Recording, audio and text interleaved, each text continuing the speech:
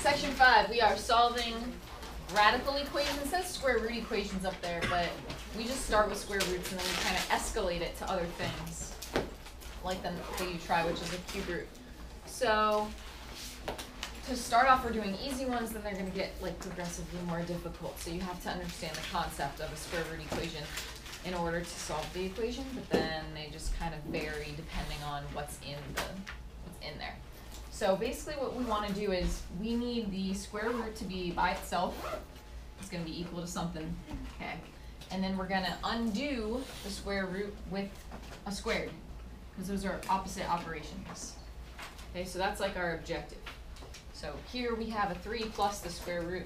Square root is not by itself. So we're going to get it by itself by subtracting 3. So I get the square root of, go, 2x minus 3 equals 5.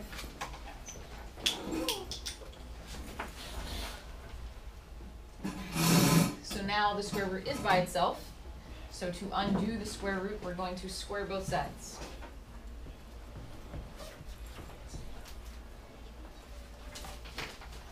Okay, and we're doing that because if the square root of something is 5, then that means what's under the square root has to be 25. So that's why we squared both sides to get that kind of set up, right? So if what's square rooted is equal to 5, then that means what's under the radical is 25. So we took what's under the radical and set it equal to 25. And now we solve, super easy, we just add 3 and divide by 2, and we're done.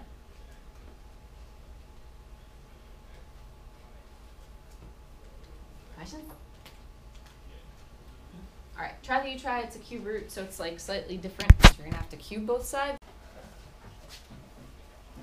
So before we do this question, I'm gonna rewrite it in its radical form, just to practice that skill, and also to, in order to explain the question, it makes more sense when it's in its radical form. So x plus three. What would be the index of the radical if it's raised to the two-thirds power? Three. And then this thing would be squared, or the whole thing squared. Okay, so that's what it would be if it was written in its radical form. All right, so we're gonna start this the same way we started the other ones. We're gonna add one. Okay, so two times the cube root of the quantity of x plus three squared uh, equals eight because we added the one.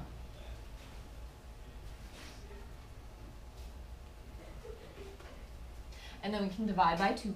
So we get the cube root of x plus a squared equals four. Okay, so now what we're gonna do is we're gonna get rid of each one of those like operations. We're gonna get rid of the cube root, and we're gonna get rid of the squared. We're gonna do this in two steps. So how do we get rid of the cube root? Cube the other side. Cube the other side, cube both sides technically. We're gonna get x plus three squared equals, what's four cubed? Uh, sixty-four. Yep, good. And then from here you have like actually a couple options. Um, the easy, I'll show you the easy option, but just so you know, you could expand this, like FOIL it out, and then subtract sixty-four and you would like factor or something. You'd solve like a quadratic equation. We're not gonna do that because I think that's the harder way. So instead what we're gonna do is we're gonna square root both sides using our square root property from, I don't know, chapter four.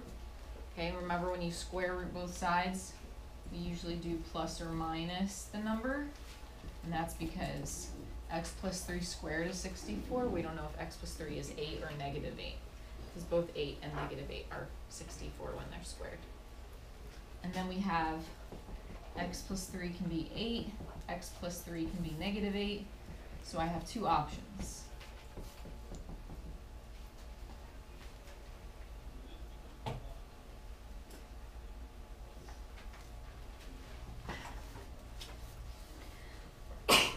Question. Thank you. Okay. So when you solve th- with this method, um, you want to make sure you're checking your solutions because sometimes you can get extraneous solutions or sometimes you just you know mess up. So we're gonna check. Do you guys have your calculators?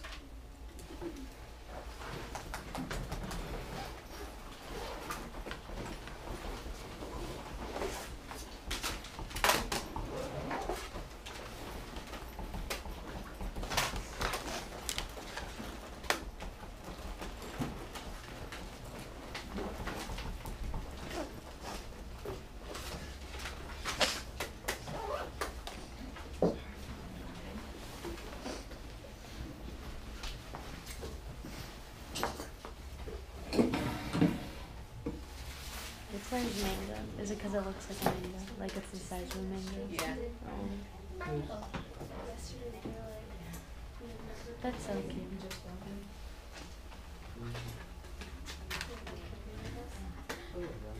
Alright, so we got five and negative eleven, and we're gonna check this on a calculator. So if you have a calculator, take it out, do this with me. So that you don't miss problems on your test that are calculator questions. There's never a need to do that.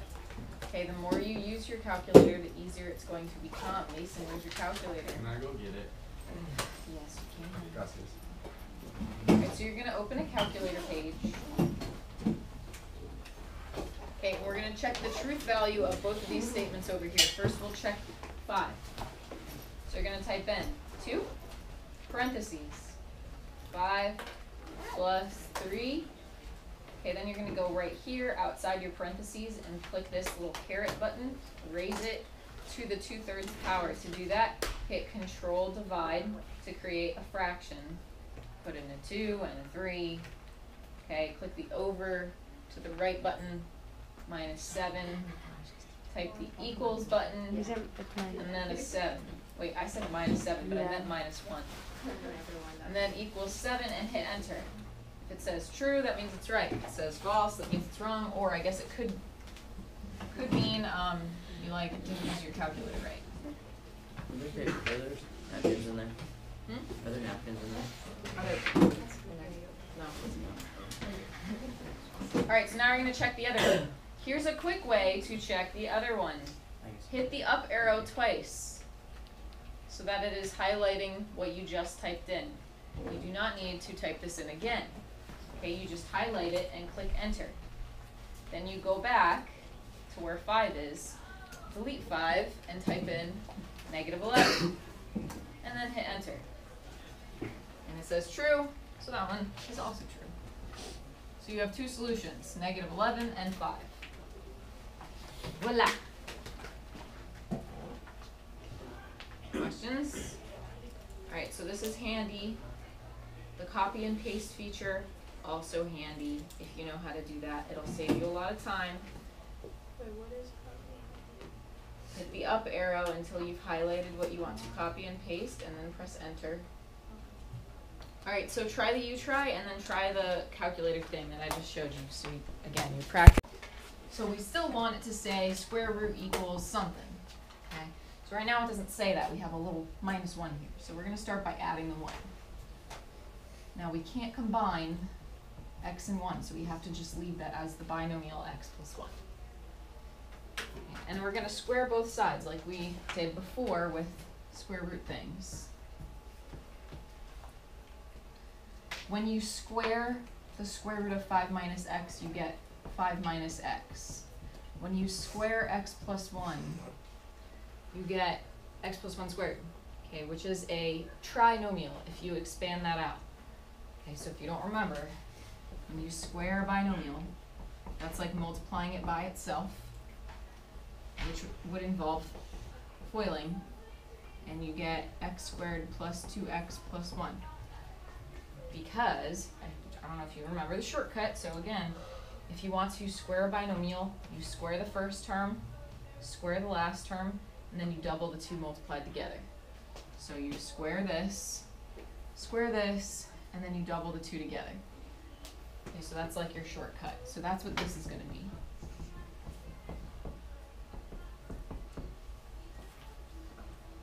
Anyone have questions on that part? No. So if you know the shortcut to squaring a binomial, that saves you lots of time. If you have to FOIL, that's gonna take more time. So try to know that shortcut. Now from here, we have quadratic stuff. Um, we can't square root both sides or anything because we also have linear terms. So what we need to do is get it set equal to zero. So we're gonna subtract five and add x.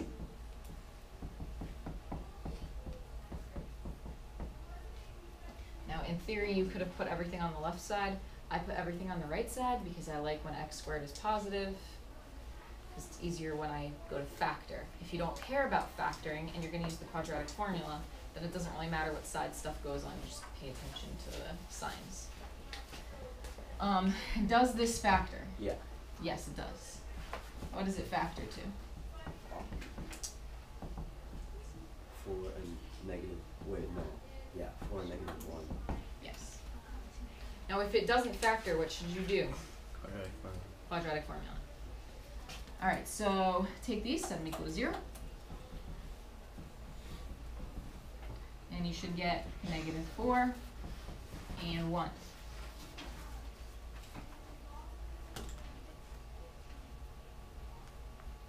Okay.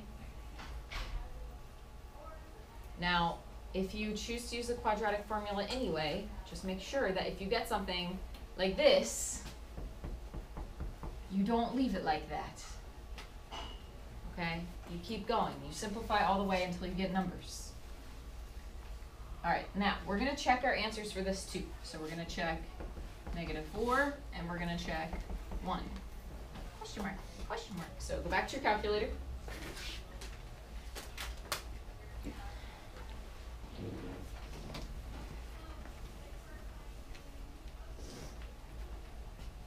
When you check your answer, you're checking it with the original equation, okay? So the original equation was square root five minus x, so let's check uh, negative four first. So five minus negative four. You just put a plus in Um, you can, just, you know, be careful. And then it was minus one, right? Yeah. Minus one one. equals x, Negative so negative four. So put in a negative four on the other side. It's not gonna be true. I knew it wasn't gonna be true because if you look at, can I go back? How do I go? Um, when you square root something, you can't get a negative number. So unless this number in here was negative three, there's no way to get negative four over here. And there's no way to square root something and get negative three unless it's imaginary, and we didn't get anything imaginary. So I knew it wasn't gonna work at the beginning. But you might not know, and that's why you check it. So if it's false, then I still wanna see that you got negative four. You're just gonna cross it out. You're gonna write x is not equal to that. Okay, this is what's called an extraneous solution. And we've done those before. Okay, so check, we also wanna check one. So we can go back, copy, paste, and then I'm just gonna do, do, do, do, do, erase negative four, I'm gonna put a one. Do, do, do, do, do. Erase this, I'm gonna put one. And this one says true. So I do have one solution. Are you always gonna have at least one solution? Mm. Um, so technically, let me go back to the original problem for a second. So we haven't graphed square root equations yet, but we will, like the square root functions. Technically what this is, is that one's like, it's like a square root in general. So in general, you're setting a square root function equal to a line. Square root functions look something like that, and lines look like this. It's possible that a square root function could be going this way and the line could be going this way, and they wouldn't meet, I suppose. Or actually, it would probably look more like this if they didn't meet, and then you would have no solution. So it is possible to get no solution, because a square root function doesn't always have to touch a line. But I would say most of the time it's gonna touch, um, but the number of times it touches depends, like it could touch twice, or, you know, it could touch once, it just sort of depends. So, it is possible to get no solution. Which is why we check.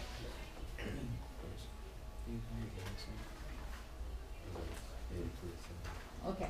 Um, you try. Do you try?